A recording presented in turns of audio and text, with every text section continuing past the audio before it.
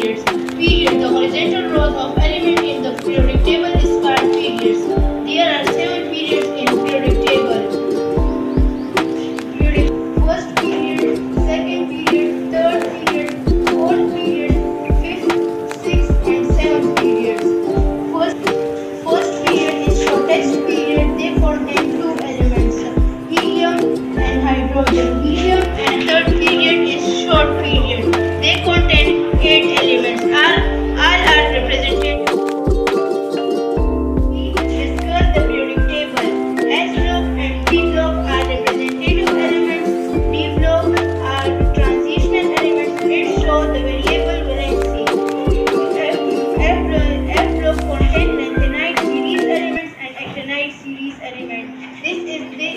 group is lanthanide series element and this group is actinide series.